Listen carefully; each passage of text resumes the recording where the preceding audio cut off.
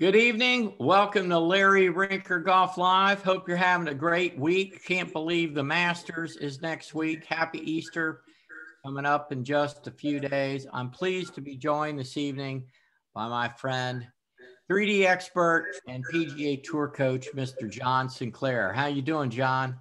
I'm doing great, Larry. Thanks for having me back on. Well, it's always great to have you on. I've learned so much from you. You probably have more 3D data on PGA Tour swings than anybody.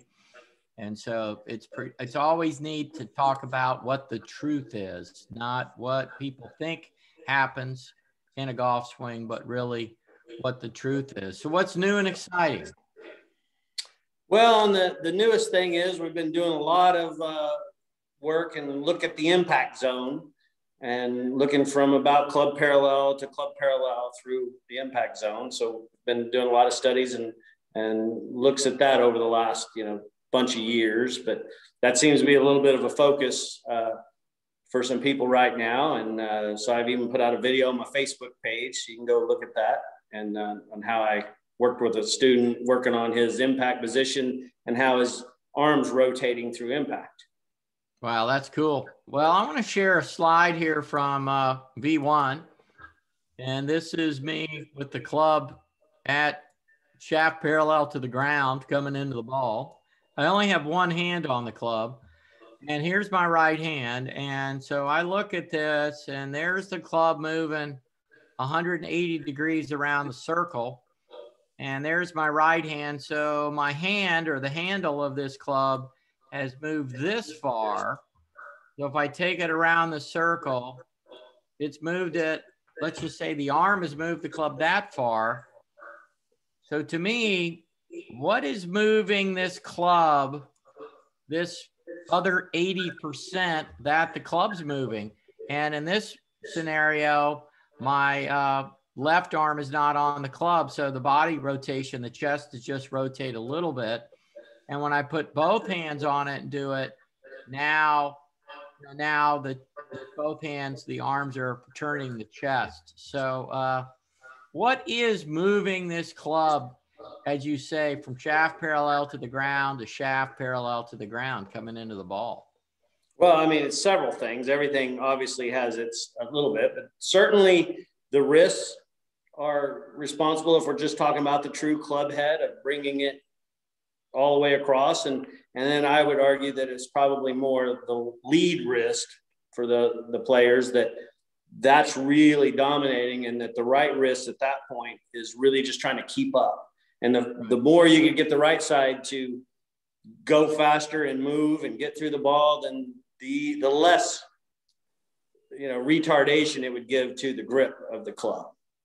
So I would say it's the, the left wrist. Here we can pull back. That's right back in here. Maybe we can back up.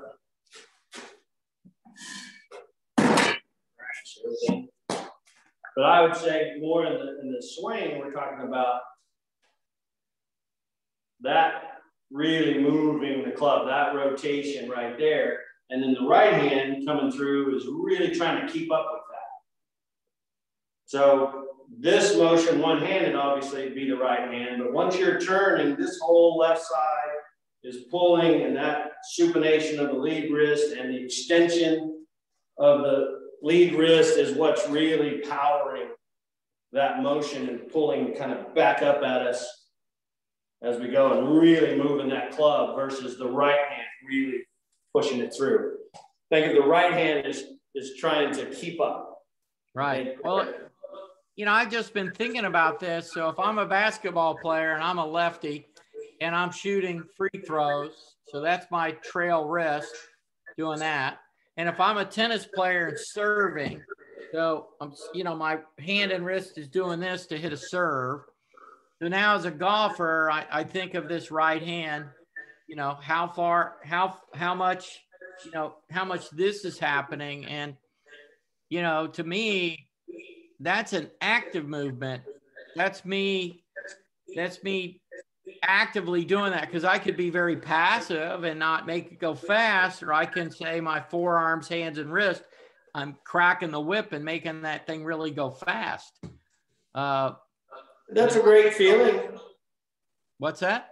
I said, that's a good feeling to have to try to get your right side to go fast. Absolutely. Right.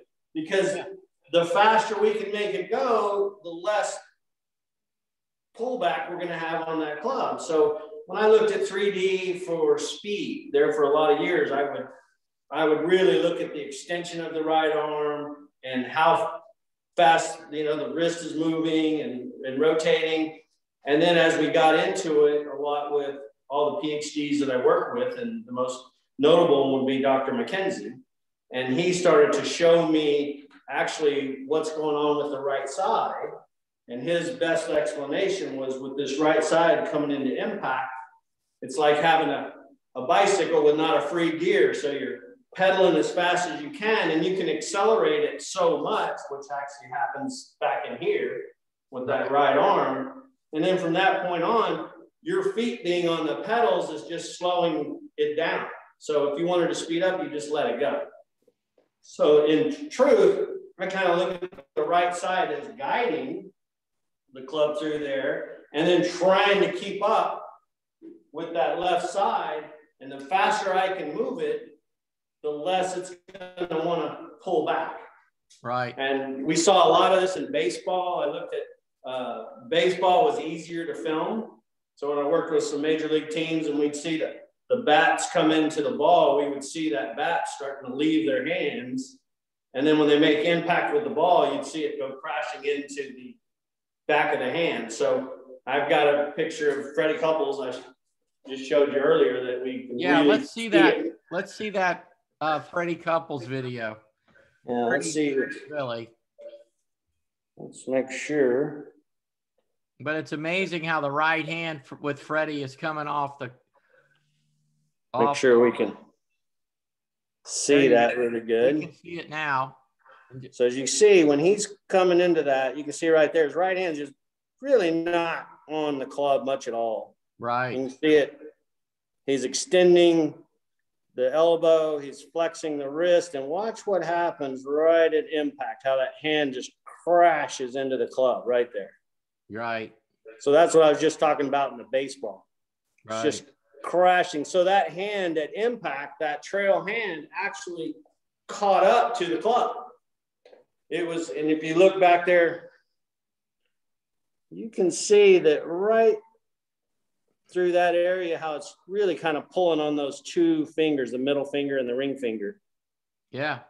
And then right when he hits the impact, it just goes forward. So wow, he's feeling a lot of pressure, you know, right there, and that it's pulling back on it, and then all of a sudden it goes into that impact.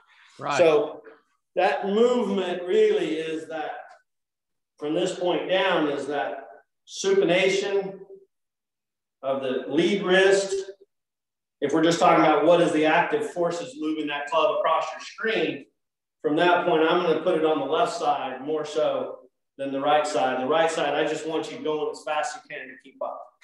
Well, would it be safe to say that if I was hitting a seven iron and trapping it, and hitting, you know, and hitting more against my leader left arm versus a driver where the club head's going faster, wouldn't you say the left wrist with the driver is going into extension or cupping a lot sooner and faster than a seven iron? Certainly faster, not always sooner, but faster. But faster. we're going the faster. angles are changing faster. Correct. And then you see, you know, you saw a lot of uh, people out there recently. I think they had a, a Bryson DeChambeau picture posed after, like his yeah, yeah, yeah.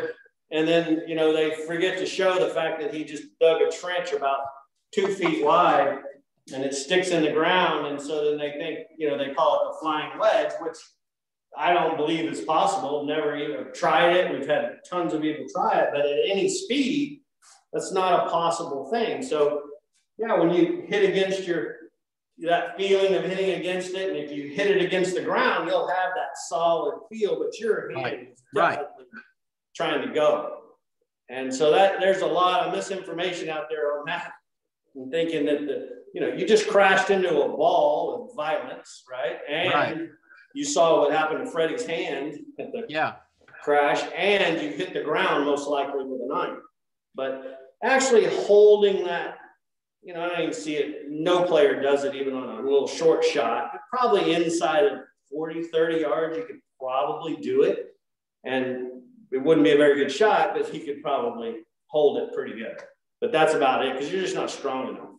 Well, from looking at Bryson DeChambeau's swing, it looks as if he's not going, his wrist isn't going this way nearly as much as Freddie's for sure. You know, and you know that flying wedge. You know, well, I think that's a pretty unique uh, angle that we got of Freddie. Is that if we looked at Bryson's, it's moving pretty good too. It's just the ground stopped it. Oh, I've seen okay. that. You know, a guy hits it fat and it doesn't go this way. Exactly. And once it hits the ground, it stopped it and then actually redoes it. And if you want to go look on my Twitter page, I actually on that, I can't remember who who had it on there, but I actually posted one of my kids hitting a, you know, just a reasonable speed, probably a quarter speed shot against a impact bag. And, you know, here he is releasing the club and he hits it and all of a sudden he goes like that. Right. So, so that's exactly what we're talking about. And there's a ton of misinformation thinking that you could actually increase this all the way through those points that they're showing on the video. That's not possible. That's not even a good golf swing. Right. So yeah, well, I, I think it's interesting. If you look at my wrist, my wrist, you know, how, how can you even see that? You know, I'm going to do it a lot, but how can you even see these in, you know, just looking at film? How can you even see what's going on? That's where 3D is so interesting and that you can actually measure how much that's going on. And, you know, something is regarding these hands and wrist angles is, you know, lag is overrated at the top. Like this idea that we're got we got to pull and we got to lag the club. So what's the data say about that? Yeah, well, it'll give you two. I'll just show you both of them since we got the club in our hand. It'll give you two pictures. So if I pull the club down, you can see that what we talk about lag is this shaft versus my forearm. Right. So when I pull the club down, it'll make it look like I've got good lag right there in a two-dimensional video. And when I get close, you can see what that just did to my wrist angles. So I extended my wrist, I pulled down this way, which is what I see every amateur that hadn't had a coach do. Okay, so they're actually twisting the club open when they do that. And, and if I do it the right way, you can see I can produce the same look between this one and this one. Right. I get that same amount of lag, but now my hands went this way. So I flexed my lead wrist. Right. And extended my right wrist. And what a lot of people don't realize is the action with the right hand, give it a little cast. You know, Nicklaus used to talk about, felt like he threw it from the back. Right. Well, he was actually right because we give it a little ulnar and that makes that club go up and back. Right. This way. And then it also produces a two-dimensional look at, of lag and actually a three-dimensional look of lag of that shaft and this forearm that actually would measure out to be the same as the bad lag. So there's good lag and there's bad lag. And then we want at the bottom, we want to get rid of that lag pretty quickly. And that's where the original thought comes in. So the better players, that angle between the left arm and the shaft of the club right there, I'll use my pencil here. But that angle, they're actually that that angle is is uh they're not increase that's they're, they're now they increase it sooner they do increase it yeah they're increasing that but they're doing it this way and when you do it that way you will dump a little this way that's not taking that angle away it's moving the club upward right? Right. And I'm in, I can increase that angle doing it that way, right, or this way. But the yeah. proper way is to close the club face early and do it that way. And then this measurement can just be fooled by doing it the wrong way or the correct. Right. So I think that's really interesting. That's in your video. If people want to watch the wrist angle video that you did, they can go to Jon Sinclair uh, johnsinclairgolf.com, correct? Yeah, just sinclairgolf.com. Just Sinclair Golf, S I N C L A I R, sinclairgolf.com. But, uh, you know, just some fascinating information. Bottom line, it's data. It's just real. It's like saying, hey, this is where your face was, your path was. you know, using a flight scope or a TrackMan, here's your data, here's your club ball data. Well, you have 3D data on all this stuff. And, you know, that, that whole idea that this is, we're actually starting to close the club face earlier at the top than we maybe thought er, before. To me, that is very powerful. How many times you see an amateur's face open when yeah, the the ground coming into the ball? Yeah, you see that right there. Right now, they've got to stand the club up and do a lot of things to get it closed. Right. And then, you know, we could decide even is that the chicken before the egg that they started doing this that caused them to start to want to do that, maybe right. some of them, right. you know, and throw it over because they can't get the club face closed enough to slice it back online because they're tired of hitting it way right. Yeah. So I'm sure there's a lot of them that ended up in that predicament over the top from that poor wrist angle. So let's talk again about shaft parallel to the ground to shaft parallel to the ground. Obviously, impact four ten thousandths of a second. The only time the ball is told what to do in the golf swing. So that's really where it matters. Call it the moment of impact. Moment of truth. Yeah. Moment of so, truth. what a lot of people don't realize is how much your forearms are moving. Okay, in that that scenario. I mean, they could move as, as fast as 6,000 degrees per second. This one supinating, this one pronating right there at impact. Holy cow, that much? So that's, that is the fastest thing moving on your body. If you're talking about degrees per second at impact, is definitely, you know, that motion that's happening. So I work a lot with players learning to, I'll grab this ball right here, to turn that wrist through impact. So I'll have them do little drills, and this is on my Facebook page. I just did one client throwing me the ball and making it twist. Right. So what I want them to do is make it twist with their elbow down.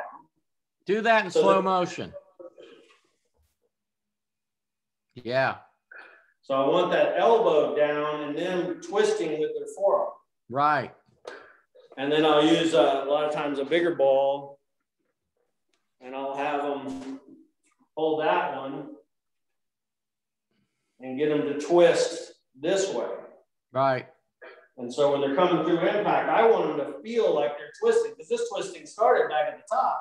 Right. It just really goes fast through impact. And so we want them to go this way. What we see too often is that ball come on, you know, end over end this way.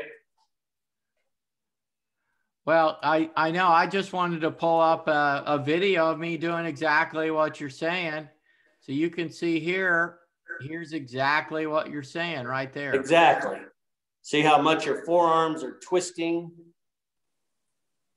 And then a, another little component to that is the ulnar that you're putting in, the ulnar release in your wrist. And I just left my good friend uh, Jeff Leishman and we, you know, showing my ball, he works a lot on that too. But he gets a little foam roller with his players to make them feel that ulnar release, that downward right. motion through impact. What you were just doing in that video. Right. And he showed me this just a couple of days ago that he was using to have them feel that rotation and the ulnar because we need we need that motion to push that club away through impact as well. A lot of people don't realize that one of the biggest measurements that I take is I use the center, the mid hands point in your chest, and I measure that, and we want that to get longer through impact. And that comes a lot from that ulnar release. So we want this club moving away from you, like so, while you're going up and rotating. Right. We need that ulnar snapping through, and that gives us speed as well. That's verticals. Yeah. So that that's really helping a lot of players to understand. So everybody has can go get a ball or you know a, a little half foam roller and work on yeah. the wrist angles through impact. You don't need to know numbers. You just need to know fields. Right. right? And right. work on getting that thing pointed down. And then they won't be afraid to really twist that club because a lot of people are afraid or they're trying to hold the face square to where right. they're going and it's causing all kinds of problems. Well, I think a lot of people that I see, their grip is too strong for their hip rotation at impact. And I'm only 90% upper core where people's hips are not that rotated impact. And then they show up with this really strong grip. I had a gentleman yesterday. I bet his grip was off at least eight to 10 degrees from where it should be. So what do you think he's doing going through impact? He's got a super strong grip and he's yeah can't turn. And, and yeah, that's where that little twist drill would really help them. Says even if you can't turn, you know you can get them to throw it. Right. Twist it, and that'll speed up that twist for them to get the ball, the club back square. Because if they can't turn their body, if you can turn your body, it's great. Right. But if you can't turn your body, you can allow them to to get that a little bit, and that club will look a little more like this through impact. So, what do you say to the naysayers that say, well, how can you control that face with the rate of closure so much higher? Well, the, the, the original thing that I first did this, that's the lowest rate of closure there is anyway. Right. But somebody that can't turn they they're gonna have, they can need a little higher rate of closure. They'll never get the club face squared. So there's got to be a balance. Right. And I don't really care about the numbers higher. We had to we had to talk about it some way, right? Lower right. or higher. But I like to work with it with the individual player. Yes, is this motion here a high rate of closure? Yeah, but there's players that need that. You, you can look at uh, you know, a uh, Patrick Reed coming through the right ball with the kind of flat heel up. He runs it pretty high through there versus, you know, somebody else like a DJ or something that's really rotated open and right. closing the face like that. But those match up to their body. Right. And I, I'd kind of almost like to quit talking about rate of closure because I think people get lost in this number versus the relationship to the body and the club matching up together? Well, what I think is really tough in this world of golf instruction is the, so many people are teaching an average tour player when most of us don't fit that model. And no, I mean, if they're going to work on averages for your, let's say right. your average male golfer that's 40 would be a lot better off looking at the LPGA average than they would.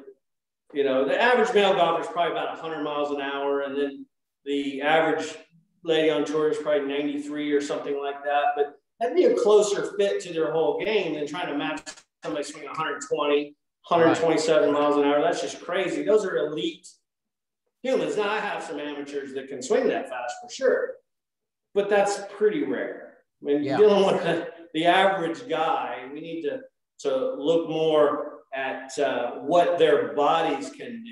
Because right. everybody wants to come in. I want to look like DJ. Well, good luck. Go to the gym for two more years and then come back and see me. And then you yeah, still but DJ's a freak. I mean, DJ's a freak. Core. I've only measured 14 low core out of almost 1,100 people. I mean, I, I do not see, and there's not many low core players on tour. Not many at all. So, yeah, a, and yet everybody walks in the shop wanting to be that person. Well, so, I understand. Well, they like the guy. Yeah, but that that's just his natural swing. That's what he does. He's got that left wrist like this at the top. You know, so it's uh he has found his swing. I think Butch taught him how to hit the ball straight or a cut, eliminate the left side of the golf course. He worked really worked hard on his putting and short game, and that's why he's number one in the world. He's won two majors now, and He'll be defending next week at the Masters, and you know, but that's not a swing many people can do. Uh, I've got a lady at the Ritz Carlton Golf Club Orlando that is low can get her hips rotated that much at impact, but very few people can, and it's it's pretty interesting. But Jon, I just think as we kind of wrap up the show, I just think people have to have much more of an awareness of what the arms, hands, and wrists are doing from that shaft parallel to the ground, the shaft parallel to the ground, to whatever's going on. You still have to have a sense you're squaring that club face at impact. Definitely. I think most people would gain a lot from not being afraid to spin that club and twist that club. They're going to find straighter shots. They're going to find that their face and path can marry up together better. You know, trying to hold that face through impact or trying to hold off something to keep it from going left. I think hopefully that kind of instructions all in the past. Yeah, yeah, it's uh, you know, it's pretty interesting trying to keep this flat going through impact. that lead wrist, uh, you know, it's uh But in closing, think if you're actually trying to keep this flat, you're robbing yourself of so much speed. I agree 100%. Let this thing go and and certainly whenever you're trying to mess with the inertia of something that's moving, you're slowing it down dramatically on top of, you're not even being able to transfer energy into the club. So you're getting a double whammy for being slow. Well, it's interesting talking with you before the show and now during the show, how you were talking about it's really this hand and wrist creating the speed more than this one.